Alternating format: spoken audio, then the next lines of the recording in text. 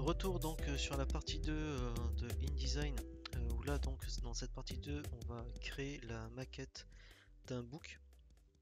Donc je réouvre InDesign. Alors l'idée là on va partir sur carrément un nouveau document. Donc je vais fermer ma création. Alors pensez à enregistrer aussi. Là je l'ai pas fait hein. je ferme c'est un exemple donc le conseil que je vous ai toujours donné euh, lorsque vous commencez une maquette, c'est de ne pas partir de zéro. Donc le conseil vraiment que je vous donne, c'est d'aller voir ce qui se passe sur Pinterest. Donc vous pouvez aller euh, éventuellement sur mon compte Pinterest 7K840 euh, dans lequel vous allez retrouver des tendances graphiques, mais également donc ici je vous avais mis un print design.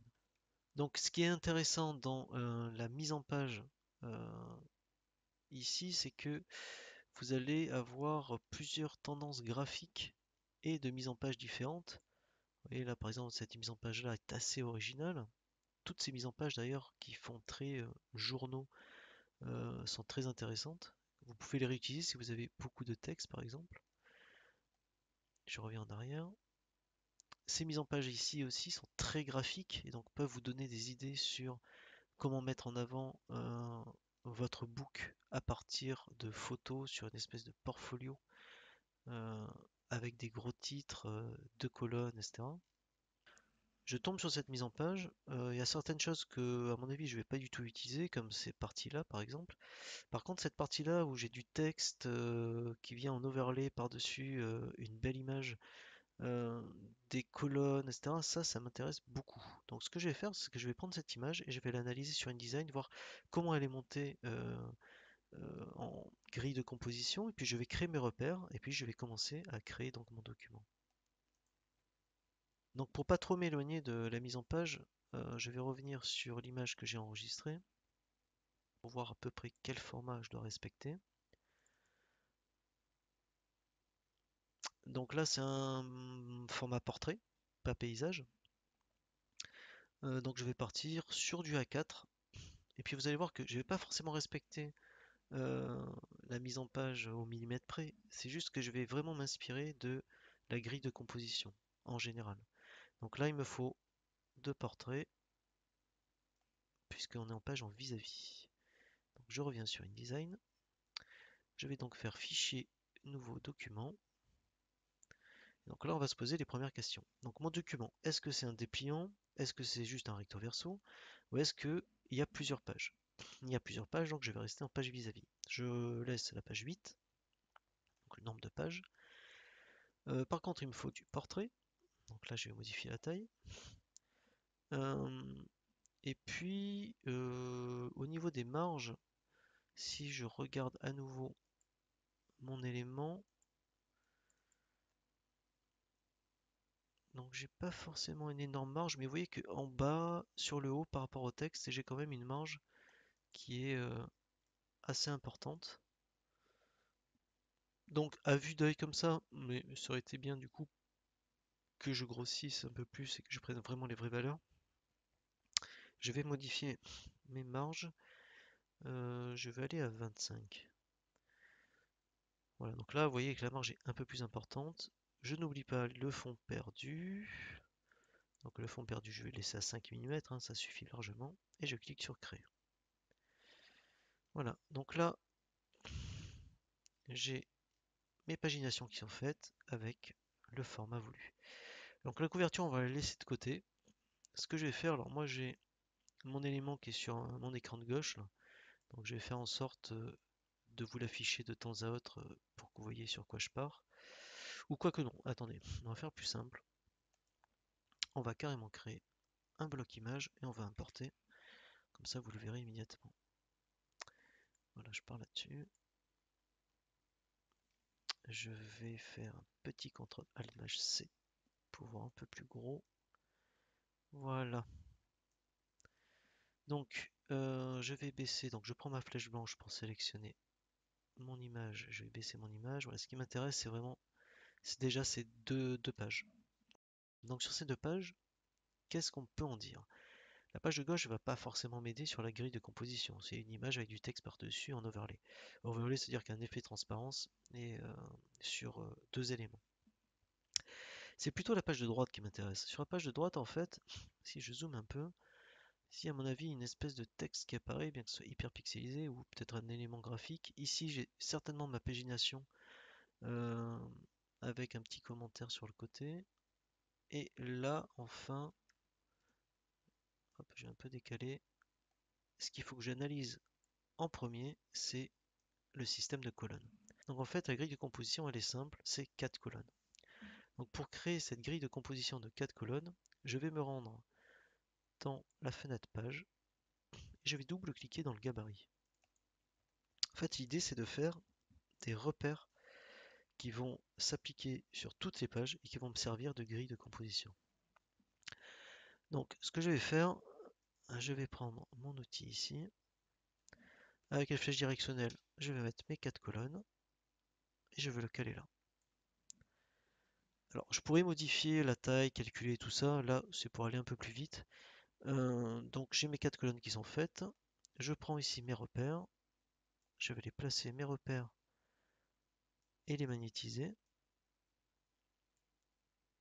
Voilà.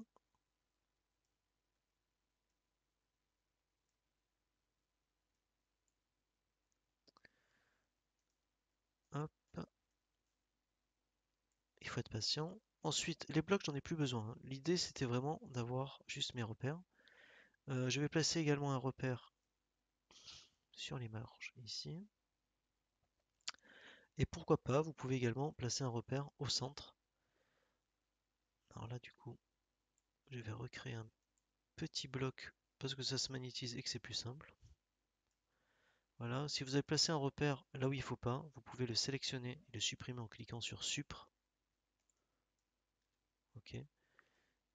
Ou sinon, vous pouvez le resélectionner avec la flèche noire et le redisposer. Ok. Alors là, pour le magnétiser, il faut que je resélectionne mon bloc que j'avais créé. Alors j'ai supprimé mon bloc, bravo. Je vais recréer mon bloc. Voilà. Et je vais le magnétiser au centre. Pac, il est magnétisé, c'est nickel. Alors ce que je peux faire également, vu que je suis sur une double page, vous voyez, c'est de non pas lâcher le repère dans la page, mais à l'extérieur de la page. Ce qui permet d'avoir le repère sur la double page. Voilà, je vais supprimer mon bloc. Je sélectionne tous mes repères. je vais me décaler sur la partie droite. Et ce que je vais faire, je vais maintenir Alt. Et je vais dupliquer mes repères en les déplaçant sur la page de gauche. Voilà, là j'ai mon gabarit qui est fait. Si je reviens maintenant sur mes pages, ben, vous voyez que mon gabarit est appliqué de partout. Donc ce gabarit va énormément m'aider pour la création de cette double page à droite. Donc c'est ce que je vais faire, je vais faire ma petite double page à droite. Donc la double page à droite, elle est constituée d'une grande image, ensuite d'un bloc blanc qui va cacher l'image, et ensuite je vais respecter mes colonnes. Donc je vais commencer par placer mon image. Hein. Donc mon image, vous voyez ici dans mon exemple, elle va jusqu'au bord, si je ne me trompe pas. Je vais quand même vérifier. Ah ben non, je me suis trompé, donc elle va pas jusqu'au bord et elle respecte la marge. Alors nous, notre marge est un peu plus grande, mais c'est pas grave. Donc ce qu'on va faire, on va respecter comme eux l'idée d'une image qui va être sur tout le fond. Donc qui s'arrête à peu près là. Hein. Je fais à peu près, hein. on n'est pas obligé de faire au centimètre près. Et je vais importer donc une image plutôt en format paysage. Voilà. Petit CTRL ALT MAJ C voilà. Donc là, j'ai mon image. Maintenant, pour mes blocs texte. texte. Donc je vais faire un bloc pour les fonds et un bloc pour le texte. Donc ce que je vais faire, je vais prendre l'outil rectangle tout simplement. Voilà, alors c'est dommage parce qu'on va pas voir le bateau. Je vais mettre un fond blanc. Donc pour ça, je privilégie les nuanciers. Je vais mettre papier. Voilà. Et ensuite, on a une espèce de bloc qui vient chevaucher les deux. Et on va le mettre avec une des couleurs présentes dans l'image. Ça sera plus joli. Donc pour ça, je vais utiliser la color theme. Voilà. je vais l'ajouter à menu ancien. Et je vais utiliser le bleu foncé qui est là. Voilà, c'est juste pour conserver une petite cohérence graphique. Alors mon image du coup, est-ce que je peux la déplacer, la recadrer? Alors je vais tricher et comme ça je vous montre un petit truc assez sympa aussi. Je voudrais voir le bateau quand même, le petit bateau rouge. Donc euh, pour faire pivoter une image sur elle-même, là ce qu'on va faire c'est que on sélectionne bien l'image avec la flèche blanche. Ici je fais attention que mon pivot ne soit pas en bas à droite mais bien en haut, euh, au milieu pardon, et au milieu. Au milieu par rapport au haut, au milieu par rapport à gauche-droite. Et ensuite, vous avez juste à cliquer ici sur symétrie axe vertical. Voilà. Là, je vais réorienter. Et oui, nickel. Très bien. Euh, donc mon bloc texte, pour revenir sur mon bloc texte, donc j'avais un bloc texte qui venait ici. Et vous voyez que là, je suis embêté puisque lorsque je survole mon bloc blanc avec mon outil texte, il veut en faire automatiquement un bloc texte. Moi, je veux pas. Je veux créer vraiment un bloc texte à part. Donc l'idée, en fait, c'est que tous les éléments qu'on a créés jusqu'à maintenant, les formes et également l'image, se trouvent sur un calque à part. Donc les calques, vous les avez ici. On a tout sur le calque 1. Alors il faut savoir que InDesign, euh, les calques, c'est peut-être presque optionnel. Vous pouvez très bien créer sans gérer les calques. Là, ce que je trouve pratique euh, de vous montrer, c'est que tous les calques qu'on a créés jusqu'à maintenant, c'est-à-dire le calque 1 avec tous les éléments, on va le verrouiller. On va créer un nouveau calque qu'on va même renommer, qu'on va nommer texte. Et juste en séparant les deux éléments, on va mettre image et fond. Mais du coup, je peux verrouiller très rapidement mes éléments qui sont ici, ne plus être embêté. Alors je vous dis ça, mais si vous utilisez cette pratique, il risque fortement euh, qu'à un moment donné, vous, écriviez du texte alors que vous n'êtes pas dans le bon calque, auquel cas il faudra copier-coller sur place l'élément. Donc du coup, je mets dans texte et je vais créer mon bloc texte. Donc mon bloc texte, le premier bloc texte, il était euh, de souvenirs un peu plus large, c'est-à-dire qu'il chevauchait les deux colonnes. Donc c'est là où on est un peu plus libre. Hein. Vous n'êtes pas obligé de suivre à la lettre votre grille de composition, mais la grille de composition sert quand même énormément à équilibrer les éléments. Je pourrais... Ouais, d'ailleurs, je vais faire ça, en fait. Allez, je vais faire deux blocs texte pour changer un peu de, de ce qu'on a vu. Hop, je vais faire deux blocs texte. Et puis après, on va voir si ça pose problème ou pas. Très bien. Là, si je reviens un peu sur mon modèle. Ok, donc là, on avait une espèce de gros titre, un sous-titre et du texte courant. Là, on avait un, autre texte et ici, à nouveau, titre et texte courant. Donc, ce qu'on va faire justement, c'est qu'on va créer ce texte-là. Sachant que là, il y avait du blanc en dessous. On va utiliser du lorem ipsum, bien sûr. Voilà. Euh, donc on avait pas mal de texte pour le titre, donc je vais mettre un retour à la ligne ici. Voilà. Et puis là, je vais paramétrer tranquillement mon texte avec de la typo. Alors, j'ai un peu grossi déjà mon texte. Voilà. Et puis, je vais mettre une typographie euh, qui soit un peu dans l'univers, etc. Peut-être un truc... Euh, le choix de la typographie est hyper important hein, dans votre univers graphique. Ne prenez pas une typo au hasard euh, sans chercher. Le mieux d'ailleurs, c'est peut-être de passer par Dafont. Alors c'est ce qu'on va faire, tenez. Comme ça, moi, je vais vous montrer un peu comment fonctionne Dafont également. Donc, dans Dafont, en fait, je vais chercher un truc plutôt, euh, plutôt script, en fait. une lettrine qui arrive quand même bien à se lire.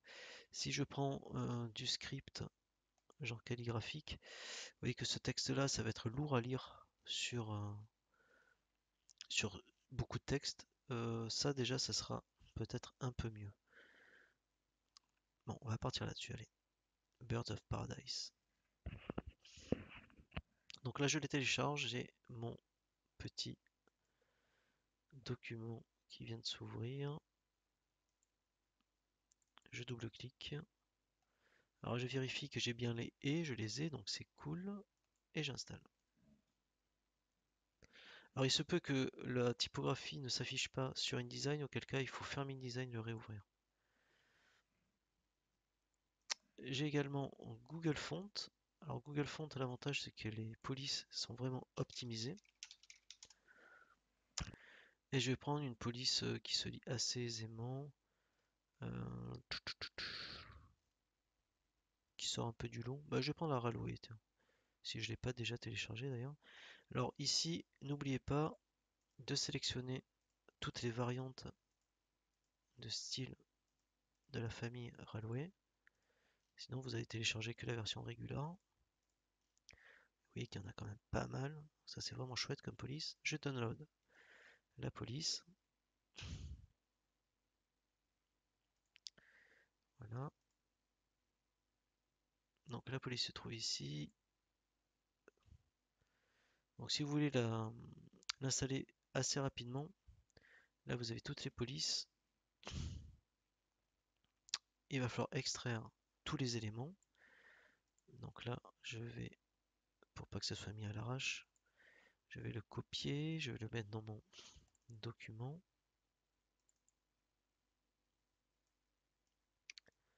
Hop, je le colle ici.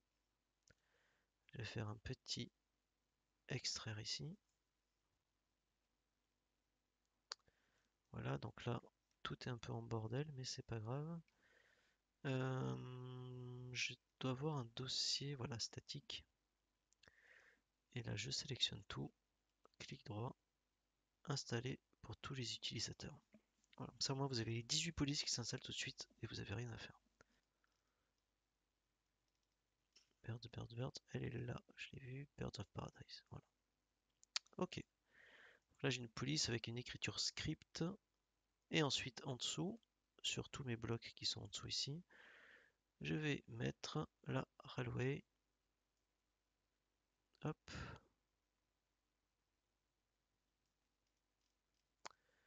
Euh, oui, pour aller plus vite, vous pouvez taper directement railway et je vais mettre la est-ce qu'il n'y a pas une condensée Non, je vais mettre la régulière, c'est très bien. Ok. Donc là, faire attention, déjà parce que j'ai pas tout sélectionné. Donc là, par exemple, ça, c'est pas en railway. Euh, d'ailleurs, je vais le supprimer. Je vais mettre un D majuscule. Voilà. Donc là, en état, c'est pas top. Hein. J'aimerais qu'il y ait un peu plus de séparation, etc. Donc je vais d'abord gérer mon titre. Alors pour mon titre, je vais rajouter plus de taille. Régular, j'ai que ça de proposer. Je vais mettre une couleur également en prenant dans mes nuanciers. Je vais prendre le bleu ciel. Alors attention, hein, vous voyez là j'étais sur le contour. Donc j'enlève, je resélectionne le fond. Voilà, je vais mettre un bleu ciel. Ça c'est correspondance avec le titre. Pour le texte, euh, je vais changer aussi un peu l'interlignage. J'ai un peu le condensé. Et puis je vais mettre surtout un retrait après. Voilà. C'est pas trop mal. La taille. Je vais mettre volontairement une petite à 9, c'est pas mal. Je regarde un peu dans l'ensemble. 9 points. Euh, je vais pas condenser plus que ça. Ça suffit largement pour la condensation. Voilà. Et je vais mettre en bloc pour que ce soit un peu plus joli. Donc ça, j'en crée tout de suite mon style de paragraphe. Donc nouveau, je double-clique, je l'appelle titre. Et ici, nouveau style de paragraphe. Et je vais l'appeler texte courant. Non, pas sourant, mais courant. Voilà. Donc du coup, mon texte courant, je peux l'appliquer au texte qui suit et on est bon. Donc ça, on verra après en termes de mise en page comment on peut modifier les choses. Ici, j'aimerais donc rajouter également un autre bloc texte qui va utiliser du blanc hein, puisqu'il va être par-dessus. Hop. Alors là, je suis là, j'ai mes blocs texte qui me gênent un peu, donc je vais faire un bloc texte à côté. Je mettre du lorem ipsum. Voilà. Je vais appliquer dans un premier temps le texte courant. Je vais le faire passer en blanc et je vais mettre un peu plus large. Je vais le mettre en semi-bold et en blanc. Ok. Bon bah écoutez, en fait là on a déjà pas mal d'éléments qui sont placés. Euh, avec tous ces éléments là maintenant je vais faire en sorte de bien équilibrer les choses. Donc moi ce que je voudrais au final, c'est vrai que leur mise en page était pas trop mal parce qu'on a ce bloc qui vient perturber un peu notre mise en page. Donc je vais enlever ce bloc là et je vais hop passer et respecter l'espacement que j'ai ici et le respecter juste à côté de mon bloc là. Je vais mettre encore du texte de substitution. Voilà. Euh, alors, chose à laquelle il faut que je fasse attention tout de même, c'est que vous voyez que les sauts de paragraphes sont pas foufou. Voir que là on a un paragraphe puis un autre. Donc je vais rajouter un saut de paragraphe de 2 mm entre mes blocs. Donc pour ça je vais revenir dans texte courant. Je vais aller dans retrait espacement et je vais rajouter un espace après de 2 mm. Oh, voire même 1, ça suffit en fait. Hein. Voilà. Ok. Si vous avez ce petit symbole rouge qui apparaît, c'est que vous avez du texte en excès. Alors si je clique dessus et que je crée un bloc, le texte en excès apparaît. Vous pouvez également cliquer sur ce texte en excès lui dire ben, tu vas aller sur le bloc texte suivant.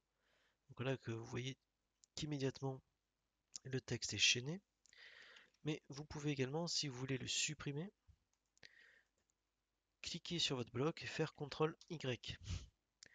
Et là en fait vous avez une fenêtre qui s'ouvre et qui vous indique quel style de police vous avez utilisé. Donc si je remonte tout en haut, j'ai le style de police, euh, style de, de, paragraphe, pardon, titre, style de paragraphe courant. Et là, vous avez le texte qui est en trop, donc du coup, je peux supprimer par exemple ce texte. Et vous voyez qu'immédiatement, le texte est enlevé sur mon bloc. Euh, là, c'est bizarre ce que j'avais fait, parce que j'ai fait un seul bloc texte. Alors oui, oui, oui. On va peut-être euh, gérer... Oui, bah, comme ça, on va voir un peu les, bloc de texte avec euh, deux colonnes. Je vais créer donc deux colonnes. Pour éviter que mon titre, comme euh, sur la vidéo précédente, ne soit que sur une colonne, je vais rentrer dans mon style de texte courant.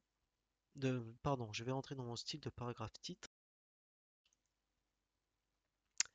et modifier dans étendue des colonnes, étendue de colonnes. Et je clique sur OK. Donc ça fonctionne. Là, c'est un truc qui va vous arriver très souvent, je pense. Là, c'est parce que j'avais sélectionné le bloc, ok, et pas que le titre. Du coup, tout le texte dans le bloc est en titre. Donc pour modifier ça, j'ai juste à recliquer sur texte courant. C'est aussi bête que ça. Et là, je remets un texte courant. Donc ok, c'est comme je veux. Je vais rajouter peut-être un peu de texte. Imnam motus bouchus. Oui, j'en profite. Il faut absolument éviter d'avoir ces effets-là où on a juste euh, une phrase qui se balade toute seule. Ou pire, d'avoir un mot tout seul. Euh, dans le jargon typographique, on appelle ça les veuves et les orphelins. C'est le nom qui est donné. Euh, donc là, on a un petit orphelin tout seul. Donc ce qu'on va faire, c'est qu'on va essayer d'éviter que la phrase soit toute seule. Donc ça, c'est à vous de bien vérifier ça. Donc soit en ben, modifiant le paragraphe, soit en rajoutant un saut de ligne, soit en enlevant un saut de ligne, etc. Et ça, ça sera à vous de le paramétrer. Allez, je vais faire un petit CTRL Y pour enlever le texte qui est en excès. Voilà. Ensuite, pour mon titre, euh, ben, je veux pas que mon titre chevauche ce bloc bleu. Ok. Euh, et en fait, ce qui me dérange là-dedans, et à mon avis, il est plutôt d'intérêt à laisser ce texte libre et plutôt de mettre l'image vers là. En fait, c'est mon bloc blanc. Je pense que je vais ramener ici. Ouais, ouais, ouais, c'est beaucoup plus équilibré. attendez, on va vérifier. Alors, où est-ce qu'il était? Il est là. Euh, ouais, donc c'est ça. Voyez, en fait, on a bien les deux blocs qui sont écartés. On a le même espacement ici que entre les colonnes. Et du coup, mon texte est plus serré. Ok, donc on va faire ça. On va serrer le texte. Donc on va le serrer en laissant l'écart. Et là, on va laisser en laissant l'écart. Donc on va essayer de faire en sorte que ce soit exactement le même écart. Je vais un peu réduire, peut-être le bloquer là. Je crois que je vais tirer un repère en fait. Hein. Comme ça, moi je suis sûr que c'est calé. Ouais, on est bon. Ok. Très bien. Donc ça, je vais le recaler. Avec les flèches directionnelles, hein, vous pouvez bouger les éléments. Le but en fait, c'est vraiment d'avoir le même écart en haut et sur les côtés. Éviter d'avoir du texte là avec un écart comme ça. Pas forcément top. Donc là, c'est vraiment histoire d'équilibrer. Après, c'est bien parfois de déséquilibrer aussi, hein, euh, pour que ce soit un peu plus original. Ok. Là, oui, ce qui me dérange, c'est que l'image est trop près également. J'aimerais remonter un peu l'image qui est là. Donc, petit majuscule W. Voilà, donc là, je vous ai fait une présentation de euh, comment créer justement une mise en page à partir d'une maquette. Euh, là, si vous me donniez ça et que j'avais à le critiquer, je vous dirais en premier lieu que la police script convient pas des masses.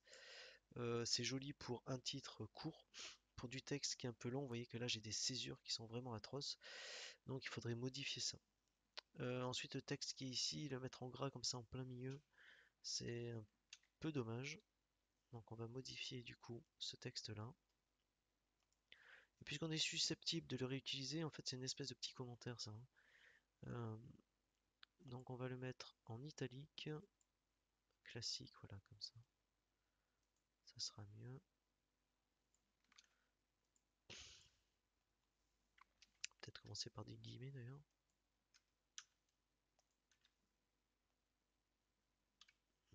Hop là, pardon. logiquement, il ne faut pas d'espace dans les guillemets, mais c'est pour euh, la beauté du commentaire. Et on va changer, ben au final on va changer cette typo. Hein. Euh, donc la typo, plutôt que de la changer comme ça, je vais rentrer dans mes styles de paragraphe. On va essayer de trouver une police un peu épaisse quand même.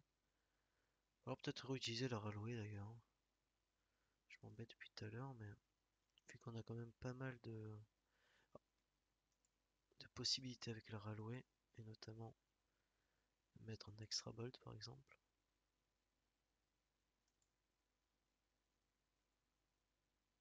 Bon, ok, je vais pas m'éterniser dessus parce que sinon j'en ai pour des heures. Euh, je vais mettre juste en bold euh, normal. Et on sera bon.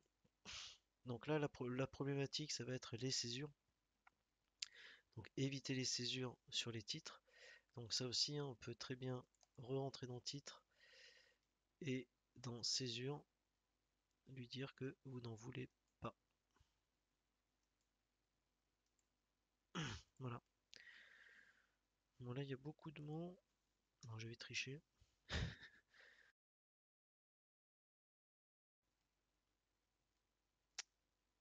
c'est mieux. Lectémolor. Donc là, en fait, le problème, c'est que le titre est beaucoup trop gros, tout simplement. Et moi, j'aimerais bien voir le texte sur les deux colonnes. Voilà, c'est déjà un peu plus équilibré visuellement. C'est pas mal. On va faire la partie gauche maintenant. Donc la partie gauche, hein, je vous rappelle, c'est ça. Donc en fait, on a euh, du texte en overlay par-dessus une grande image. Donc on va mettre la grande image. Hop, on va respecter les marges. CTRL D. Voilà. Euh, par-dessus, donc, bah, je vais rajouter un rectangle de couleur qui va aller jusqu'au débord. Je vous le remontre. Vous voyez, ça va vraiment du milieu jusqu'au débord.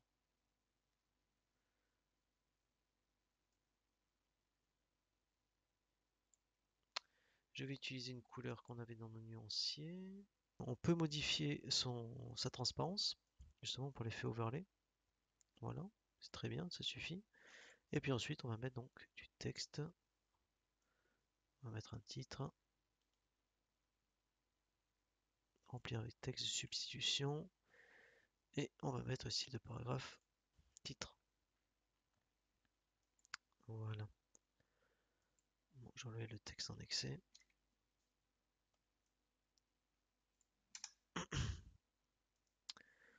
Très bien. Donc ce texte, euh, peut-être le grossir un peu également. On va essayer de ne pas aller au-delà de la marge.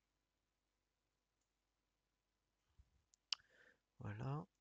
Donc là après, vous n'êtes pas obligé de créer un style de paragraphe pour tout. Là l'idée c'est juste de grossir un peu le texte. Après je regarderai la maquette. Voilà. Je vais le faire en blanc pour le texte. Évitez le noir systématique. Le blanc, vous voyez, ça, ça allège vachement. Si je mets en noir, et que ça écrase. Le noir est bien, mais c'est vrai que ça a tendance à écraser. Que vous avez un fond de couleur, essayez le blanc. Là, en l'occurrence, ça marche assez bien. Ouais, bah écoutez, on est bon. Alors, lui, il avait euh, une image qui passait par-dessus. Donc, bah, ça tombe bien, on a des. On va le faire d'ailleurs pour là. Euh, donc, comment je pourrais faire ça? Donc là, il faut être habitué à l'utilisation de l'outil plume. Donc ça, c'est une partie qu'on voit en général sous Illustrator. On va quand même le tester, vous allez vous entraîner. Donc je viens ici, je vais me placer comme ceci. Donc là, je fais une contre-courbe. Là, ici, j'ai un vecteur qui est très important. Donc, je vais diminuer l'importance de mon vecteur à venir pour avoir une courbure. Hop.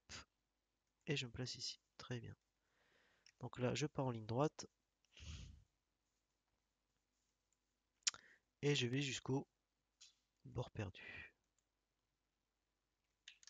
Ah, j'ai raté. Il est là. Voilà. Donc là, j'ai mon premier et je fais pareil pour le deuxième. Donc là, je vais partir de là.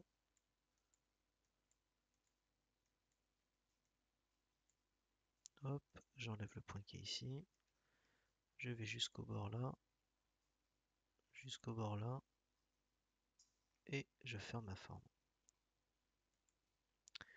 Voilà. Donc maintenant mes deux éléments qui cachent le, texte. Donc ce que je vais faire c'est que déjà je vais gérer la transparence ici. Je vais mettre du 48, euh, ouais 50 à peu près.